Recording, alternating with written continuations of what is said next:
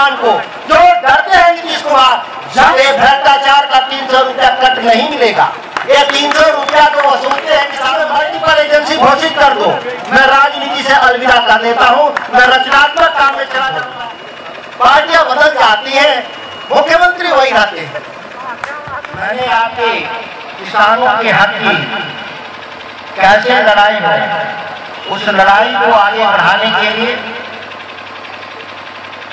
जो हमारी जो मूल जो समस्या है बीज से लेकर बाज़ार, ये पूरी जो कृषि प्रणाली है, किस तरह से हर स्तरों पर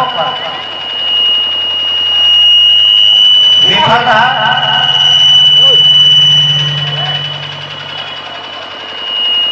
विफल रहा जिसका परिणाम पूरे बिहार को भोगना पड़ रहा है।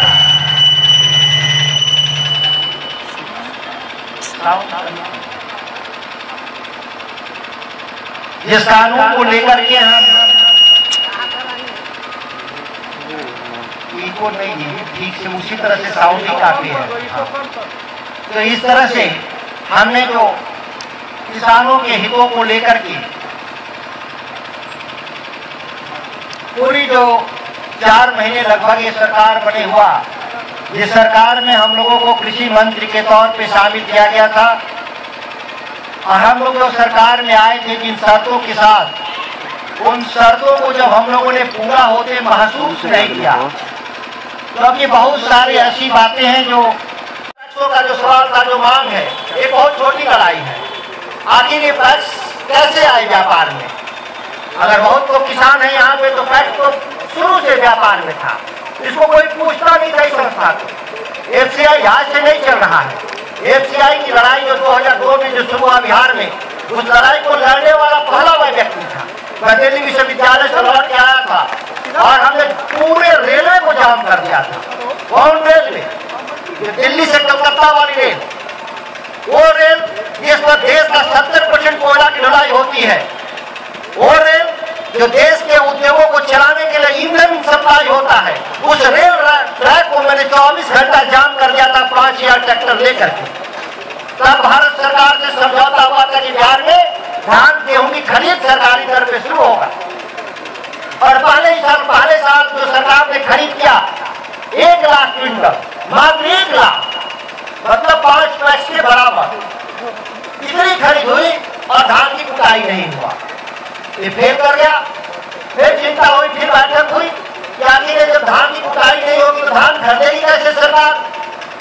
गरीबों को तो धान नहीं देंगे चावल देना है हमको। चावल बना ही नहीं। और वो धान देना पड़ा बंगाल में।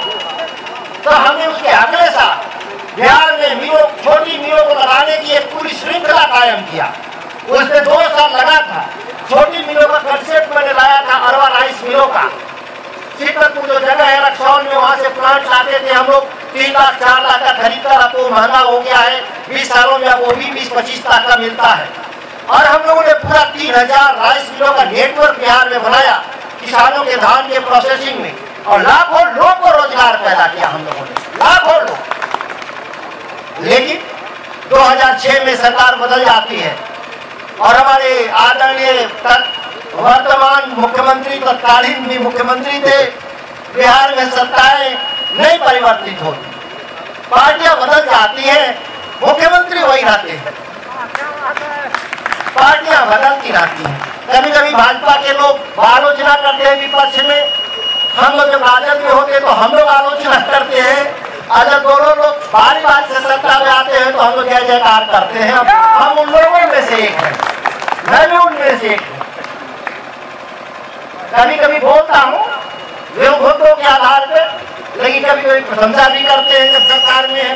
लगता है कि हमको निकाल देगा लोग पार्टी से तो प्रशंसा भी कर देते हैं कभी कभी खुद करने के लिए लोगों को। लेकिन मेरे भाव नहीं बदलते और बदलेंगे भी नहीं मेरे भाव।